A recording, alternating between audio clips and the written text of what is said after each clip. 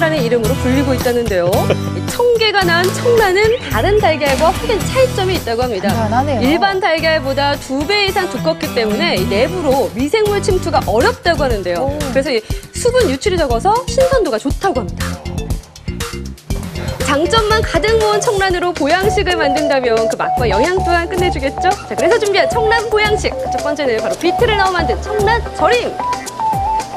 비트는 철분 및 항산화 성분이 혈액순환 및 그 혈관 확장을 도와주므로 같이 드시게 되면 고혈압 및 심혈관계 질환을 예방할 수 있습니다. 만드는 방법도 간단하다는데요. 알아볼까요? 우선 청란부터 깨끗이 씻어야겠죠?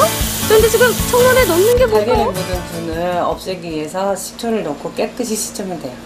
네, 청란을 완숙이 되도록 충분히 삶은 후에 비트물을 우려내면 된다는데요. 이 비트 우린 물과 설탕, 식초를 1대 1대 1의 비율로 넣고 이 3일간 숙성을 시키면 보랏빛의 보양식, 고혈압 잡는 청란 절임 완성! 생활하는 데도 어려움이 없고 뭐 활동하는 것도 괜찮고 뭐 혈압도 정상으로 돌아왔고 남편의 건강을 되찾는데 도움을 준 청란 보양식 한상. 네, 보기만 해도 정말 맛있어 보이죠. 남편뿐만 아니라 아이의 입맛까지 사로잡았다고 합니다. 어이구, 한 입에.